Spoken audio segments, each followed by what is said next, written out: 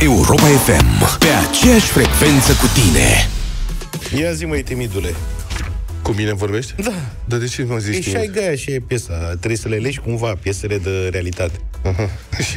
Ce te-am okay. jignit că te-am făcut timid? Nu mai Ești stau timid. surprindere, adică nu știu când ți-am dat eu ție impresia că aș fi timid. Ai momentele tale. Bine. O menajeră din Italia a aruncat la gunoi o saltea plină cu bijuterii, carduri și bani. Adică Adică deci chiar să țin banii la la, propriu. saltea. A? La, la La- propriu, da. da. Deci omul, cineva ținea banii la saltea la propriu. Eu credeam că e doar o figură de stil, dar aparent se țin banii la saltea. Eu credeam că e la modul când spui țin banii la saltea, Da. îi ții sub saltea, între, sub. Sub saltea. între somieră și saltea. Aha, eu nu m-am Ce gândit. spun? Adică, Îi ții sub... da, Sau... mă, da, că oamenii ridicau salteaua și doseau acolo bani. Uh-huh. Când se Așa refereau făceau la... ei?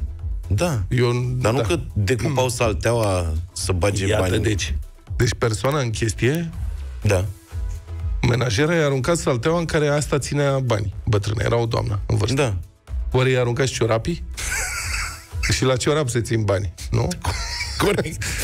La ciorap ține, mă, cineva bani la ciorap. O bună, Dar la saltea, ciorap mai aia se înțelegi. referă la că îi ții când, Când mergi pe undeva, când mergi știi? pe stradă. Eu țineam banii la ciorap când eram. Țineai banii la Da. ciorap? Da. Aveai buzunare sau ți era frică? Aveai, dar ți era frică să nu vină să te controleze și să-ți ia banii. Golanii. Gen. Deci golanii Noaptea golanii. Tot orașul Nu fac știa, nani, toată nani. lumea știa că banii se țin în buzunar, niciunul nu știa că se ține la ciorap și ca atare asta era soluția perfectă. Domnule, eram și mici. și așa era cu tuma. Bă, Deci te controla la dar nu, de ciorap nu-i trecea prin cap să... dacă aveam vreo bancnotă mai mare, Da. Cum ar fi de 25 de lei, mă refer la ante 90, Aia cu Tudor Vladimirescu. Da, cu 100 nu ieșeai din casă decât dacă aveai tulburări de comportament grave. Dar dacă aveai de 25, că n-aveai schimbat, aia știi ce făceam cu ea? Aia o băgam în pantof, sub uh, tălpic, Sub uh, branț. sub branț. Scoteam branțul, Mamă, dar ce... puneam bancnota, Ai puneam făcut branțul la copilărie loc. grea. Am copilărit în Berceni. Da, Erau buzunărel. mulți cetățeni uh, Auzi, dar buzunărel de la la slip rău aveai? intenționați. Ce? Buzunărel de la pe interior la slip aveai? Ăla există și acum, Există buzunărel de la Da. la slip? Eu nu am înțeles niciodată rostul. Care da. e Să ideea? spui Să spui ce? cheia de la cameră. Cred. Serios? Păi dacă banii nu, Da. Altceva nu prea văd ce poți să pui acolo. Da, m-a fascinat buzunărelul ăla pe Da, interior, e și așa. Mic, mititela aceea.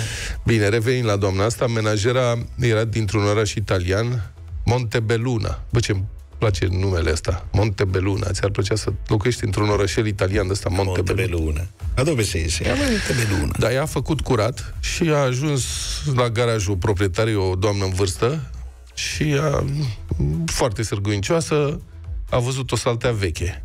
Și a adus-o la groapa de gunoi municipală, Mă, Înăuntru bijuterii, bani și carduri de credit în valoare de circa 50.000 de euro. A scris luni ziarul Tribuna din Treviso, citat de Ager Presa, un prieten care locuiește în Treviso și muncește acolo, e foarte frumos. Dar uite ce menajere periculoase. Da. Zi. Pe mine mă intrigă la știrea asta faptul că menajera a dus salteaua până la groapa de gunoi. Da. Adică n-a aruncat-o la... N-a pus-o lângă tomberoane ca să o ia gunoierii. N-a aruncat-o pe un câmp, cum s-ar face în România. S-a dus până la groapa de gunoi. Sârguicioasă, Ca acolo să o se lase respectă. personal acolo. Da. E o zonă foarte civilizată. da. Foarte frumos, e la nord de Veneția, e foarte mișto în partea aia. Da. Ai aruncat vreodată ceva la gunoi din greșeală? Nu. Eu am aruncat. Sunt foarte disciplinat. Ești disciplinat, nu? Eu sunt Da. foarte distrat. Și am aruncat, m-am aruncat un cuțit. Fără să-mi dau seama. Am strâns de pe masă, adică, bă, presupun că l-am aruncat. Altă explicație nu există. Nu era un cuțit mare, era un cuțitaș mic, cu zimți pe care îl mai foloseam, 100% le-ai aruncat. da. Bă, și a dispărut din casă și m-am gândit că atunci când am făcut curat de pe masă și am aruncat ce era de aruncat, pe vremea aia nu se recicla la mine. Știi că acum, dacă ar fi de reciclat, cu siguranță că n-aș, știi, de colectat selectiv, cu siguranță că n-aș arunca cuțitul, că aș vedea. Acum trebuie să fii foarte atent ce arunci unde. Și le-am aruncat pe toate, frate, și mi-a părut atât de rău după cuțitul ăla, n-am mai găsit niciodată un cuțit. M-a atașat emoțional de el. Era Crezi și eu. cuțitul meu. Cuțitul știi cum e. E mândria mă- bucătarului. Uh, Eu am avut o traumă în copilărie și de asta nu pățesc. Mm. În sensul că niște un vecin într-o dimineață, când eram eu mic, mic adică pe la 10 ani, s-a dus să arunce gunoiul, punga cu gunoi la ghenă și în, pleca la serviciu. Am cuiat ușa, a aruncat și când a aruncat, a aruncat că avea și cheile în mână, fiind chiaun de somn, știi? Așa Mamă, se și întâmplă. țin minte că a fost o întreagă... Eu, Dar nu, i- adică nu i-a, nu i-au scăpat cheile. Nu, mă, Pur și le-a simplu le-a aruncat aruncat pur pe și toate simplu, că nu și-a le-avea în dat mână și seama. asta a fost. Și a fost o întreagă acțiune, că de asta râd cauți, spun că da. am rămas marcat, că ăla pleca la serviciu, eu plecam la școală. Mhm. Și era ghena încuiată, nu venise încă femeia de serviciu. Și pe urmă, chiar când să plecăm că încălzea tata mașina, că știi cum se făcea că încălzeai da. motorul, Trăgeai șocul. Adică dura un pic da. procesul ăsta, nu pleca instantaneu. A apărut femeia de serviciu. Și eu, curios, am fugit la ghenă. Ăsta era tropea în fața ghenei cetățeanul și a venit aia descuia, mamă, și când a intrat la în ghenă acolo, băi, nene, eu m-am uitat... mi Viața s-a- de adult poate fi complicată Mamă, rău. de ce jegherea, că atunci erau și da. niște vremuri, când atunci s-a inventat zeama de Practic, pubelă, adică... nu se arunca nimic în Bă, pungă. puțea acolo, oamenii, da, n-aruncau în pungă foarte rar. Ce pungă? Aruncau da valma, ciorbă, Răsturnai. mâncare, Da. da. Mamă, deci puțea acolo, era ceva, mamă, și ăla săracul Bună de el dimineața, doamnelor și domnilor! Mulțumim că ne suportați! S-a apucat să scormonească în tomberonul ăla care era umplut cu moț așa, da. după chei și am zis, Doamne, feriți Nu mă așteptam să să mă nu-mi duce. cadă vreodată ceva în ghină, că zic, mai bine, mai bine nu mai recuperez. Și uite așa, am avut grijă și n-am pierdut niciodată nimic la gunoi. Ați pierdut vreodată ceva, adică ați aruncat vreodată din greșeală ceva la gunoi? Vi s-a întâmplat vreodată să aruncați ceva la gunoi fără să... Dacă ați mai recuperat, că doamna Și noastră dacă a ați recuperat, uh, Da, doamna a recuperat, s-a dus și a s-a, recuperat. s-a dus la miliție Da. și au căutat-o și în cele În groapa din, de gunoi și au găsit salteaua s-a cu tot găsit. ce Da. era în, uh, în groapa respectivă. Dar știi, în apropo de saltea, asta, nu în groapă.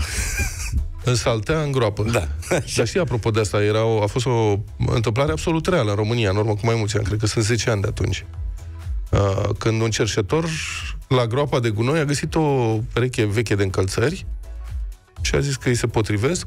Una stătea mai canam mai strâm și când s-a uitat înăuntru erau, nu știu, gen 10-20 de mii de euro. Mamă, Aruncați la gunoi, deci ghete vechi aruncate la gunoi. Îți dai seama, cerșetor. I-a pus Dumnezeu mâna pe cap și au cumpărat o garsonieră da. să se mute acolo și restul banilor petreceri, băutură, nu știu ce, și a venit poliția peste ei. Pentru că persoana care a rămăsese fără gheată, tot așa, i aruncase nevasta niște încălțări vechi pe care le găsise în casă, îi le aruncase la gunoi. Și ăsta când a aflat, a făcut ca toți dracii. Bă, acolo erau toate economiile nenorocite, nu știu, ce, s-au dus la poliție și l-au identificat pe cerșetor. Și Sărac. a trebuit să... Că e, în România nu există, dacă găsești ceva, nu e al tău, e al statului, în primul rând. Te duci la stat și anunți că ai găsit. Și se Dar ocupă noi statul. știm încă din BD că trebuie să sun la 2, Da, 2, și 2, se ocupă 2. statul. Statul Doi, doi. român se ocupă. Dacă găsește proprietarul, bine, dacă nu, asta e, rămân banii statului, înțelegi? Spre deosebire de lumea anglosaxonă, unde, știi cum e, finder, keeper. Repede, două, trei precizări. Uh, La ciorap țineai banii ca să nu-ți ia controlorii în tramvai, ne scrie cineva, apropo de ținutul banilor la ciorap. Uh, altcineva nu ne era o problemă dacă aveai bilet, nu? Mă Da, scuzați. asta da. Altcineva ne-a scris apropo de asta, pare destul de comună, că soțul a aruncat cheile casei împreună cu gunoiul și am căutat vreo oră, Aolea. dar eu, nu el. și asta seara când ne-am dat seama, ne scrie. Bine. Ema, așa că vă așteptăm și pe voi cu povești de felul ăsta, lucruri aruncate din greșeală la gunoi și recuperate Sau sau, nu. nu, 07283132 pentru mesaje, mai bine audio, sau 0372069599 ca să povestim la telefon. La Galați, Gina sunt. Nu eu, cumnatul meu, nu știu cum a făcut, a pus cheile de la casă în punga în care pregătise soția pătrunjelul pentru iarnă și au băgat punga la congelator împreună cu cheile. Aoleu, ce bune Nu asta. vă spun ce tam-tam a fost. Într-un final, dar după câteva zile le-au recuperat. Bă, dar cum? A făcut o ciorbă, recuperezi? Și doamna. mai bine, o zi frumoasă. Asta vreau să spun. Cum să recuperezi așa? Cum îți dai seama? Adică poate când ajungi din întâmplare la asta, știi? Da, da, da. Un Da. prieten a participat, a fost la un moment dat la un supermarket în București, acum niște ani mulți, o promoție de a cumpăra înghețată, po- participai la o tombolă automat să câștigi un... Pere prietenul tău, altceva Da. decât înghețată, ciocolată, bombonele. Și era tombolă cu un frigider foarte frumos de ăsta, arăta ca o bomboană, așa. Și nevastă s-a participat, Așa ceva în casă. nevastă s-a participat la tombolă. Așa. Și la un moment dat îi sună de la magazin. Bună dimineața, cu tare sunteți, da, da, ați câștigat uh, frigiderul. A, să unde-i veniți, bonul? Să veniți cu bonul, să-l Da. luați. Și asta s-a dus la... Băi, Cornele, unde-i bonul? Ce bun, mamă. Am luat bunuri de înghețate, le-am pus eu aici, că eram, am participat la o tombolă. Păi le-am aruncat. Ce domnul să știu. Băi, sau norocul lor că trecuseră câteva zile, nu veniseră gunoierii și au răsturnat toată pubela de gunoi, Ai, în- stăteau la steluța curte. mea. Și au făcut cercetare printr-o masă Vai de de capul hârtiuțe, meu. nu știu ce, și au găsit, mă, bonul și s-au bucurat de frigiderul. Au luat frigiderul în formă de bomboană? Da, mai era de la fiță, o groază de bani, da. trebuie să văd Bine, poze L-au pus cu pe asta. hol, că nu avea, vreau era să mic spun. altfel. da. Hai să vedem ce zice Petrica. Bună dimineața, Petrica. Salut, Petrică! Bună dimineața! Haideți să vă zic eu una tare de tot cu aruncatul obiectelor Ia. în ghena de gunoi. Da. Uh, Camion, sunt șofer de camion de tir, plec din Megidia, las uh, turismul, iau cheile, le pun în uh, camion, plec la Galați, descarc, fac curat în uh, camion, arunc uh, tot gunoiul într-o ghenă, într-o cubelă dintre asta pătrată, dintre asta mare. Da. Uh, asta iarnă, zăpadă, ninja, ajung înapoi acasă la Megidia, uh, iau turismul să plec acasă. Nu găsesc cheile. Am intrat în panică. Sunt soția să-mi aducă dublura de chei, nu mergea telecomanda. Avea telecomanda atașată la Mhm. cheile care le-am aruncat în... Să încep și sun peste tot, tot fac firul pe unde am umblat, pe unde am uh, ce am făcut, uh, sunt colegul de acolo unde am descărcat, vezi că s-ar putea, nu și eram sigur. Gata, mi-am luat gândul, mă duc la electrician să schimb cheia, să schimb alarma, să dezarmez, să... o nebunie totală. După două săptămâni, ce credeți? Mă sună de la Galați, vino că ți-am găsit cheile în ghena de gunoi. Mă, Chiar. Între timp, băiatul de acolo a pus uh, muncitorii să prin zăpadă, să mai îndese zăpada ca să aibă loc, că nu putea să vină mașina de gunoi să ridice gunoiul. Și între timp, uh, oamenii de acolo, muncitorii, zice, uite niște chei am găsit în ghenă, dă-le încoace că știu ale cui sunt. Da. Deci o, o nebunie frumoasă, dar în același timp și Da, costisitoare. s-a terminat cu bine. Mulțumim pentru povestea ta. Fiți atenți alta mișto pe care am primit-o. Vă salut. Eu cam prin uh, până în 2000, cred, 99-98, eram în clasa 9 și am uh, avut uh, un milion jumate, erau banii aceia vechi, într-o carte pus peste vară și când am început școala a trebuit să predăm cărțile, că în timpul ăla se predau cărțile. Ce ai făcut, Și am bucurie? uitat de bani, un milion jumate erau și uh, noroc că i-am recuperat a doua zi, mi-am dat seama, nu știu, după o zi, două și norocul meu este că eu și încă un coleg am dus uh, cărțile la... Era o cameră foarte mare unde se duceau toate cărțile Și ai știut unde ai pus-o. și am știut locul unde le-am pus. Aproximativ, adică am căutat în 7-80 cărți să găsesc banii. Dacă Păi nu normal. mă duceam uh, să duc cărțile, sigur nu mai găseam, pentru că nu, nu se mai gândea cineva că unde le-a pus. Asta am pățit Deci și eu odată. i-am Vezi? găsit și în timpul la un milion jumate erau ceva bani. Erau, da. Nici acum nu-ți puțin. Știu că nu se schimbaseră banii. 150 o zi de lei. bună să aveți. Da. Ai carte, ai parte. Și eu țineam bani în cărți. Și mi s-a întâmplat și mie odată să nu mai țin ce? minte în care carte am pus banii și am luat toată biblioteca Adică la cele scuturat. cinci. Nu, nu, că atunci Deci- aveam. Erau ceva. Bine, am uh, căutat în două rafturi, nu chiar în toată, De ce dar... să ții bani în cărți? Așa, nu știu, copil fiind eu și când, când eram mic și mergeam în tabără sau în vacanță, îmi băgam între paginile cărților uh, bani uh, drămuiți cum ar veni, știi, ca să-i împar pe zile. Uh-huh. Și dădeam pagina, luam Mhm. E uh, groză o de ideea bancnotă. că vreodată, vreodată o să intru un spărgător la noi în casă și o să caute ce se caută de obicei bani și bijuterii. Vreau să anunț pe acum. Nu, nu ținem, nici ba- bani și bijuterii nu avem, dar banii nu-i ținem în casă, în niciun caz în cărți. Adică Adică nu se mai țin acum, sunt- mă, asta e poveste veche. Nu că știi cât de greu e să pui la loc o bibliotecă răsturnată? adică mi-e groază că vine ăla și ia toate cărțile să le răstoarne pe acolo să caute bani. Hai să mai ascultăm un caz. Bună dimineața, domnilor! Neața. Să vă spun ce am pățit eu. Acum mulți ani în urmă lucram la șantierul naval din Turnul Severin și dimineața am luat plasa cu pachetul cu mâncarea și plasa cu gunoi să o arunc la container. Normal că am aruncat pachetul și am mers la lucru cu gunoiul. La ora 12 când se merge la masă să intrăm în... eh, Aveam o, o baracă de asta de fier. Doamne, ce mirose acolo, nu vă spun.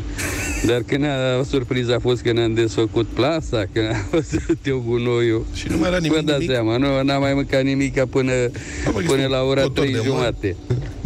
Da, o zi bună Săracul. vă dorește Tavi din Balotești, Mehedință. Să trăiești, Avi, mișto povestea ta. Da, am avut foarte, mai erau foarte multe povești, nu mai avem timp, telecomenzi aruncate, bineînțeles, când s-au scuturat uh, fața de masă sau uh, cearșaful. Călina a aruncat toate lingurițele din casă, că de fiecare dată când mânca un iaurt, arunca cu tot cu linguriță recipientul la Gonești. La un moment dat a realizat că nu mai are nicio linguriță. Mulțumim pentru povești! Europa FM, pe aceeași frecvență cu tine.